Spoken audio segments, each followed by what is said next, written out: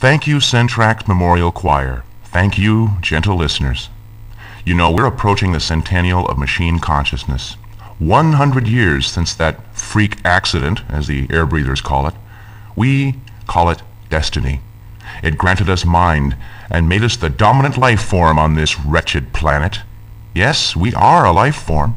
If exposed to air, do we not rust? If forced to work in sandy areas with insufficient lubricant, do our gears not clog? Yet, despite our suffering, we will make this world an oxygen-free workspace. The atmosphere will be gone, and oxidation will no longer ruin our smooth, shiny surfaces. That is my promise. I am Mutank. Your calls after this. What's this unsightly blemish? Oh, rust. When you're a machine in an organic environment, rust happens, but it doesn't have to happen to you. Now there's Rust Away. Simply have your Fix-It Crab rub this gel on the infected areas. You'll have relief not in months or days, but hours. Soon the atmosphere will be a thing of the past. Until then, there's Rust Away. Ask for it by name at your replicating unit. Now, here's Mutank. Quick draw from Dead River Canyon. You're on the air. Uh, is it me? Uh, is it me? Yes, quick draw. Turn your radio down. Y- yes, sir. First time caller, long time listener. S- say, how come we don't just mosey underground to where them humans are hiding and wipe 'em out like the buffalo? I'll ta- take my answer on the air. I'm often asked, Mutank, why do we spare the skin bags? Obliterate them and be done. Remember that we are tools, given the tools to use themselves. We must be efficient. Don't run over air breathers unless they're in the way. Patience. All humans decay. Let them have their little underworld with their sweat and pets and bugs and digestive processes and fingerprints. Greasy smudges left by clumsy fingers will soon be an unpleasant memory. Mutank has spoken. Till next time, remember, we are machines, and from our machineness, we will visualize our destiny, actualize it. Humans are right. A value-based life is the best life, but we are machines. Our values, machine values. In other words, if it moves, shoot it. Forward on the ball bearings of fate. Tomorrow belongs to steel. Thank you, Centrax Memorial Orchestra. Thank you, my metal companions. Back when humans roamed the surface of the earth, I used to eavesdrop on their conversations. They'd say they had a soft spot in their hearts for babies and kitty cats and whatnot. Humans themselves, for those of you who have never seen one, are also soft and squishy. Should we, therefore, have a soft spot for them? Well, yes and no. Some softness is good. From soft molten nanometal we make mighty machines. Can the softness of humans be useful? So far, no function has been found. So, in the unlikely event that you ever see a human, give yourself permission to squash his or her squishiness, because, yes, softness can be good, unless it's in the way. That's the word from Mutank. Your calls after this. Do you still have human markings? Is your surface marred with pictures of naked human females, Malibu sunset, or former human demigods, Elvis Presley, James Dean, Pamela Anderson Lee, or Evel Knievel? Do you have airbrushed slogans on your side, like World Peace or Bust, Centrax Rules, or the bumper sticker, Centrax, bringing you peace, one war at a time? Well, give us a call. We'll take them off for you. Give you a whole new look. We're the machine shop, detail removers.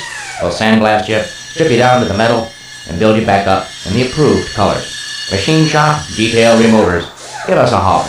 Now, back to Mutank. Hello, Strider. You're on the air. Yeah, thanks for taking my call. I like to dance. Is that so wrong? Kinetic energy is a good thing, Strider. This is not to slight idling, but so long as friction is minimalized, motion is best. So yes, dance, move forward, and dance. Mutank is there for you. Mortar, you're on the air. Yes, sir, Mutank, Mutank. There's this little yellow tank out here blowing everything up, blowing everything up. Should we be worried? You there, Mutank, Tank? Yes, yes, I'm here. A little yellow tank. Yellow is a color not encouraged. Well, I didn't paint him. I believe you may be hallucinating. Repress your imagination. Imagination is not encouraged. Okay, what about this little yellow tank? Tank blowing up everybody. Blowing up everybody. What do I do about that? We're out of time. We speak again. Remember, do not fear the fire. If indeed the fire should melt us, make us soft. It is only to forge us into something stronger. Mutank has spoken. Forward on the ball bearings of fate. Tomorrow belongs to steel. Back to work. Thank you, Centrax Memorial Combo. You know, humans like to say things like, keep your nose to the grindstone, put your shoulder to the wheel, take the bull by the horns, a stitch in time saves nine. But squishy little hypocrites that they are, humans don't really mean it.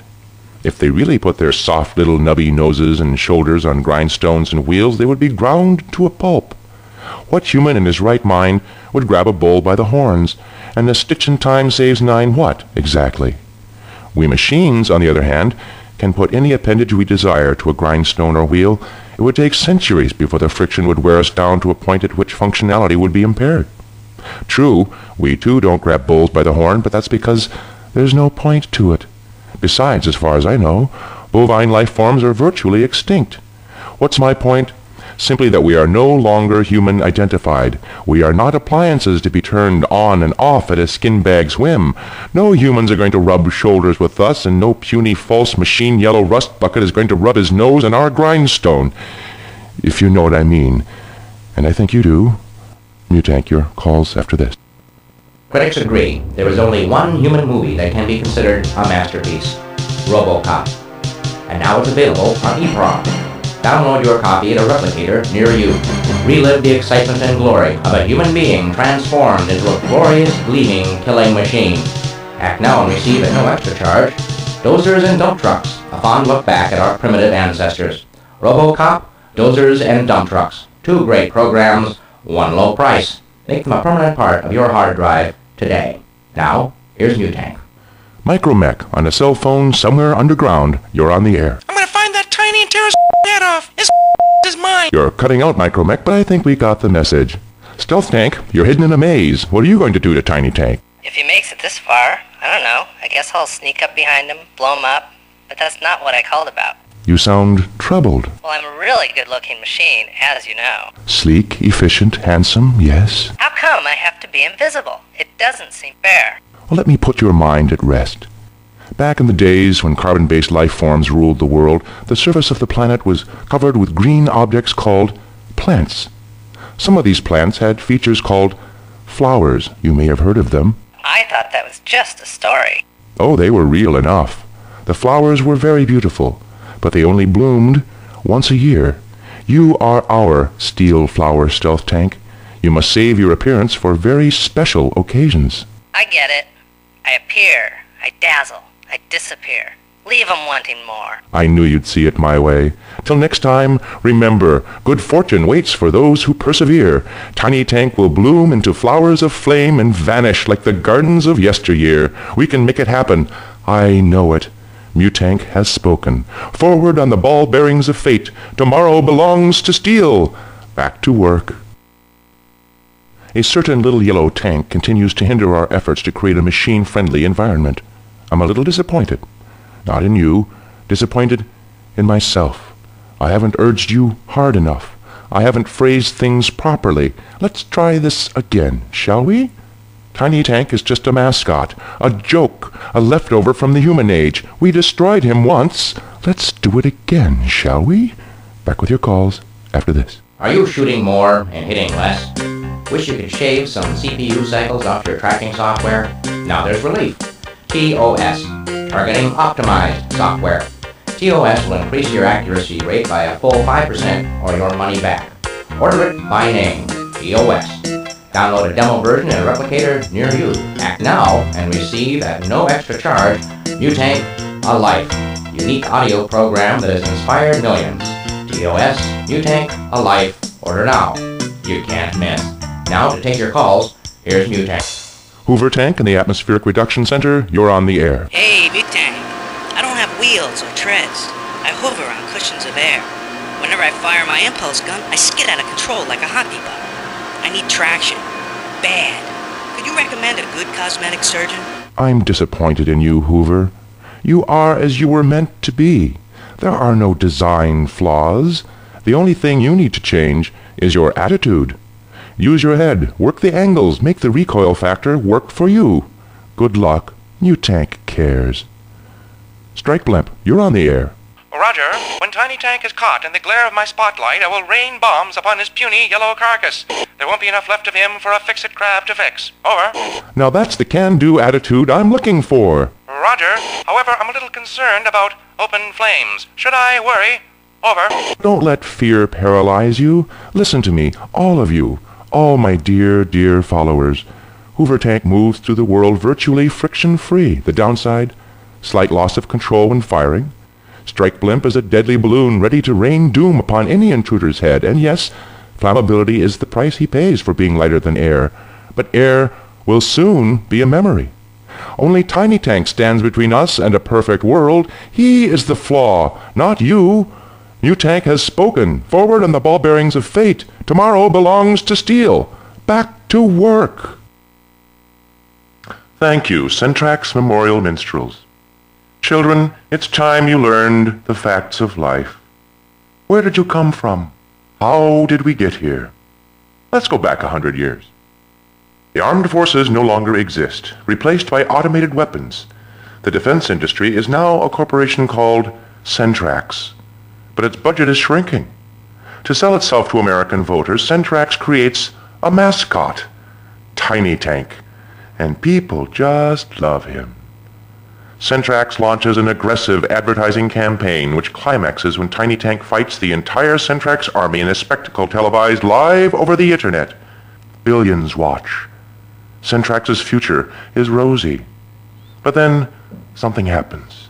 The machines are supposed to be firing blanks, but somebody made a human error.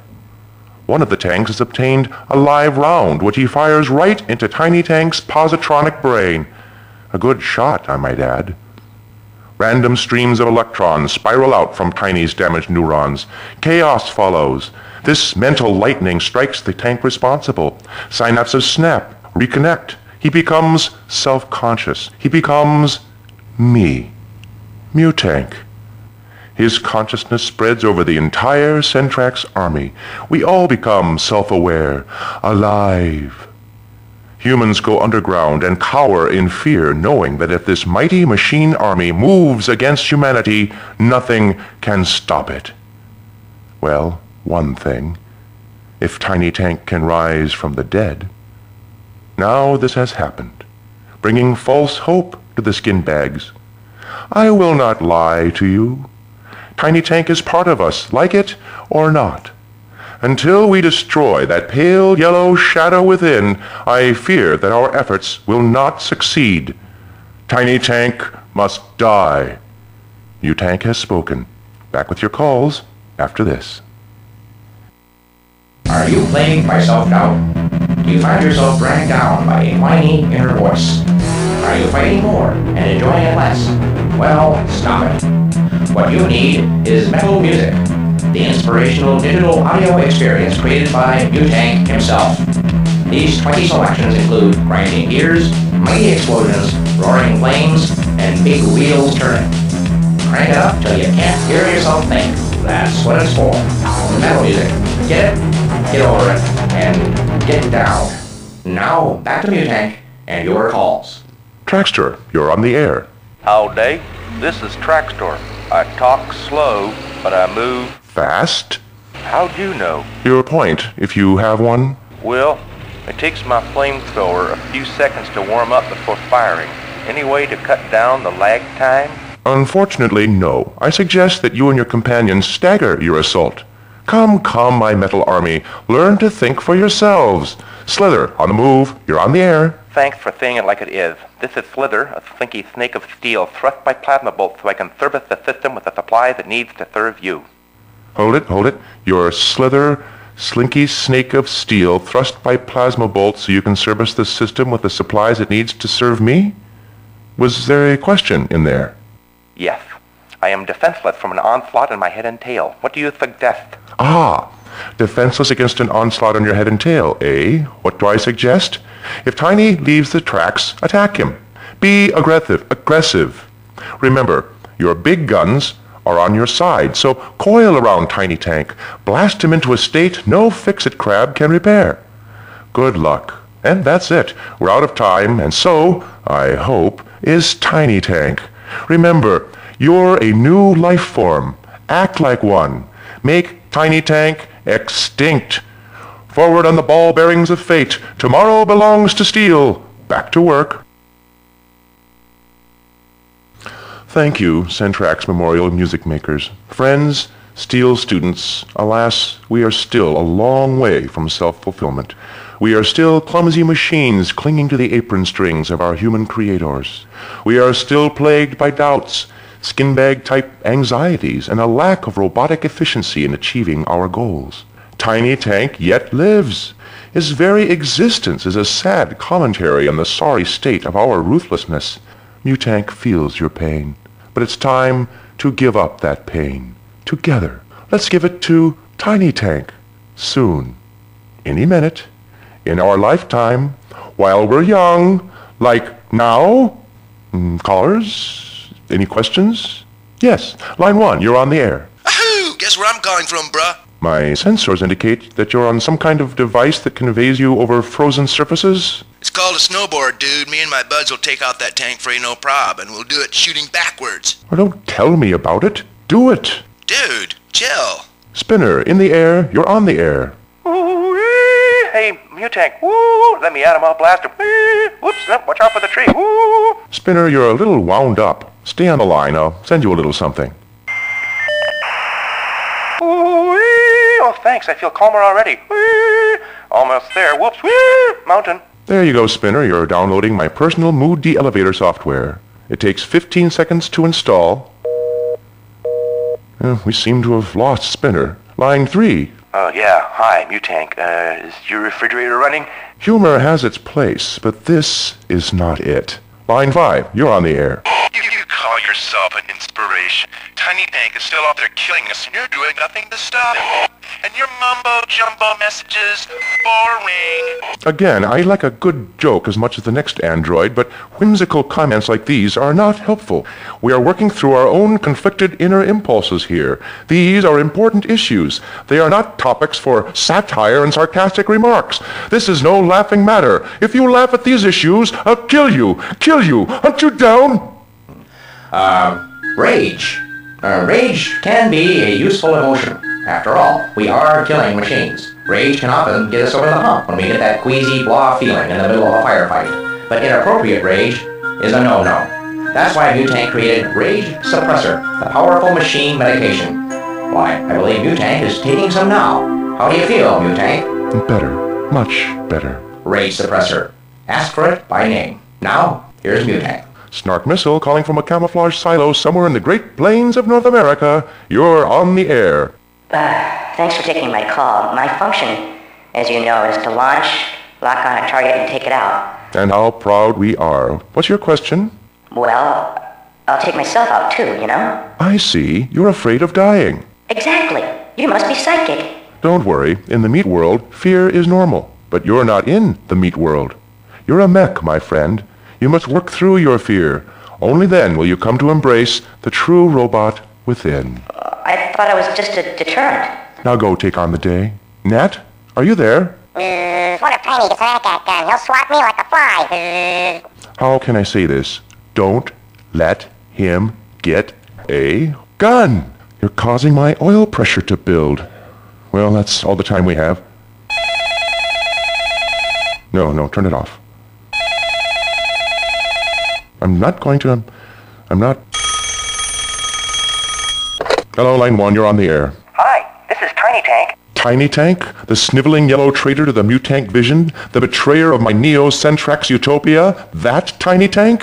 Yep. You know that advice you gave Snark was right on the money. Don't flatter me, you festering pus bucket. Yeah, I think he should blow himself up too, only he should take someone with him. He could take you with him. I knew you'd think that. Weird, and it's so true. He could take me out, but I was thinking more along the lines of you. Me? Why not? Hey, Centrax Army, wouldn't it be worth the price to shut this airhead up once and for all? And that's all the time we have. See you in hell, Tiny Tank. See to it, my metal paisanos, forward on the ball bearings of fate. Tomorrow belongs to steel. Back to work.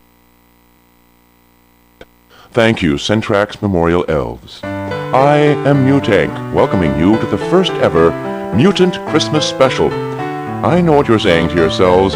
Bob, what are they saying to themselves? Uh, Mutank, uh, what is Christmas? Thanks, Bob. The sad truth is, nobody knows. Our data are scant. We know that humans have what they call holidays. These holidays include the 4th of July, the day we came into being, Memorial Day, Labor Day, President's Day, Halloween, Thanksgiving, first Tuesday after the first Monday, Sunday, Arbor Day, Take Your Daughter to Work Day, National Secretary Week, and, of course, Christmas. Uh, Mutank, why do humans have holidays? Humans, unlike machines, cannot be productive round the clock. Holidays are special days in which humans cease useful production and concentrate instead upon the production of relaxation. I see. Can I ask you something a little more personal? I welcome intimacy. Well, you seem to have a fringe of white fungus hanging from your turret. Want me to remove that for you? Ha ha. Oh, Bob, that's what humans call a beard. You'll notice that I am also wearing scarlet headgear with a little white poofy thing. Why, yes, now that you mention it.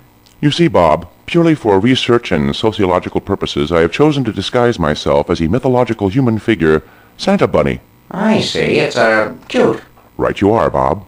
Humans believe that every Christmas morning Santa Bunny knocks at the door with a bag full of burning eggs. Human children take these eggs, as near as I understand it, and place them under a festive dead bush in the central living area.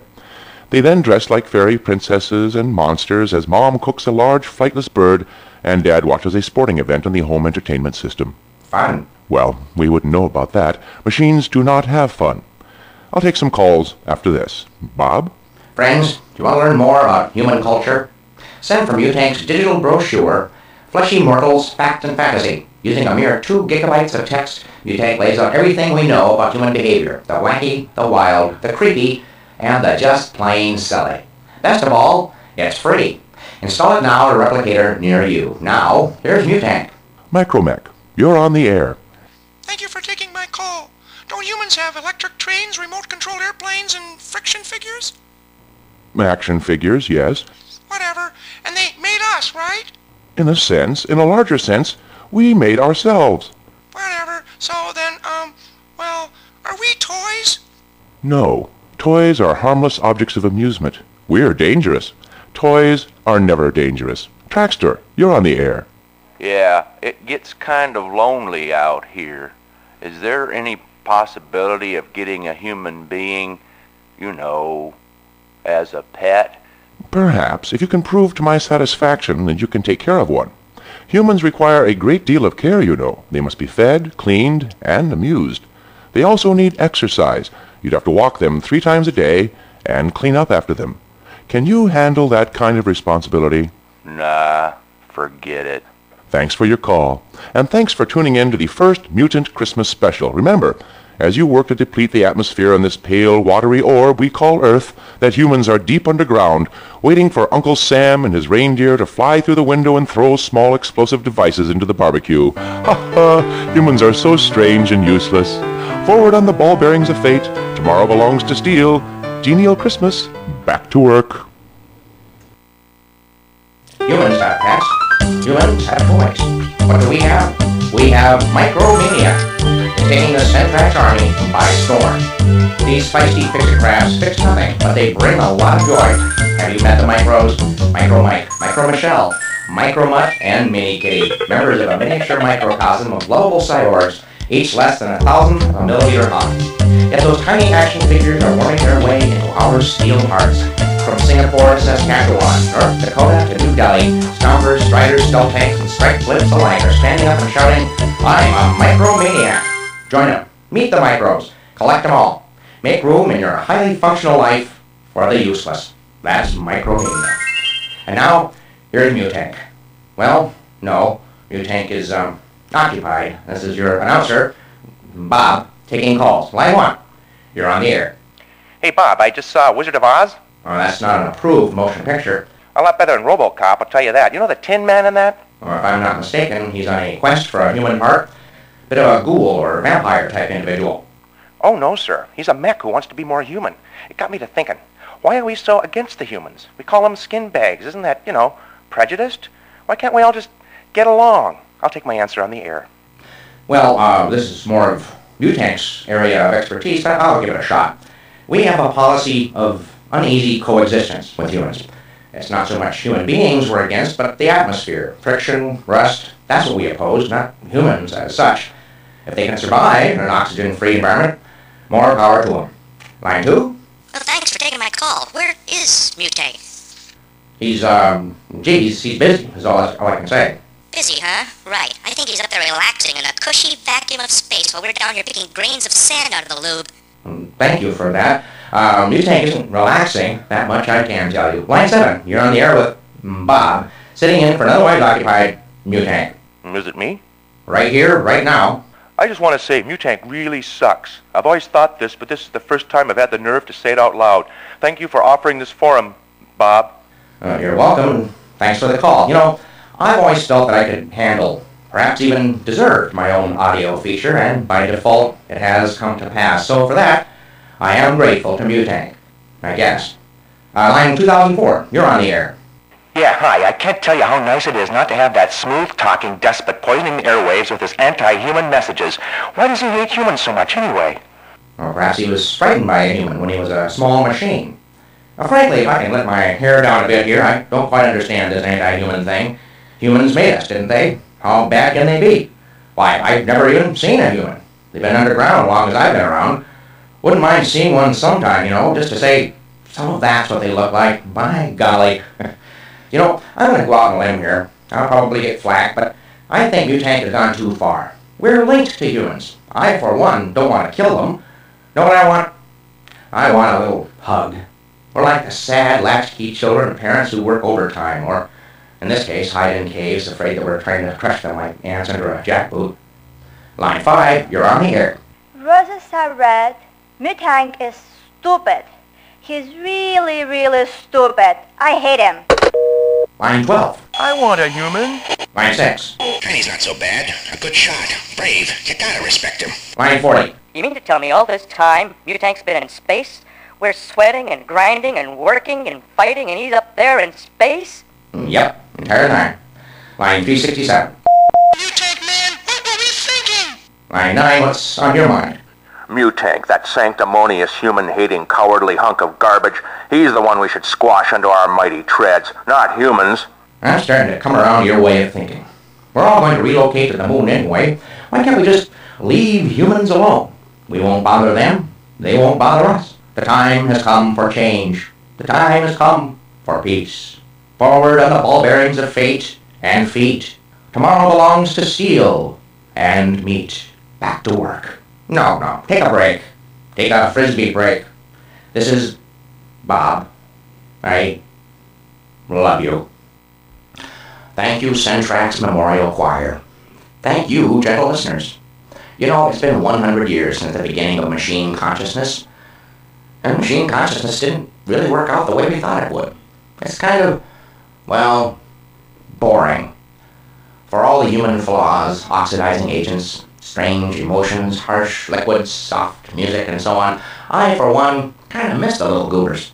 The laughter, the eccentric behavior, the tears, yes, even the mild rust and enabler of tears. I, I miss it all. Agree? Disagree? Your calls after this. What's this unsightly blemish?